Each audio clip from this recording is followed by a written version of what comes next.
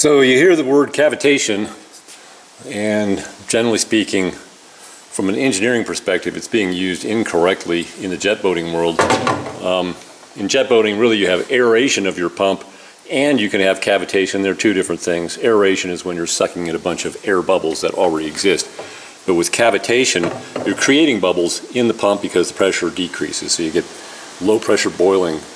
And, uh, and then when those, uh, when those bubbles collapse, when the pressure comes back up, they do so very, very violently. So you can see right in here um, some evidence of cavitation pitting. And if I turn it, you might be able to see just how deep that is.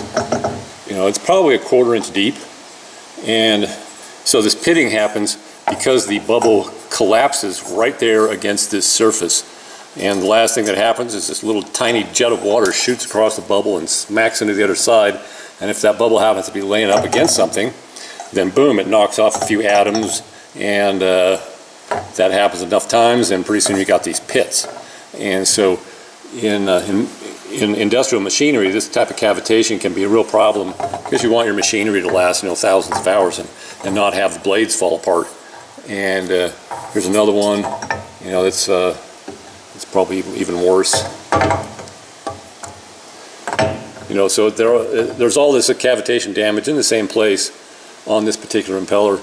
And then another thing to note is if you put a, um, an inducer in front of this, this is for a Berkeley pump, if you put an inducer in front of it, it raises the pressure and reduces the cavitation. So this, this particular impeller, um, the cavitation pitting happened before I put an inducer in. And after I installed the inducer, then the cavitation pitting was much reduced. So that's another way that uh, an inducer will help the Berkeley pump. This message brought to you by Sambo and Honky and now by Cracker and Boy.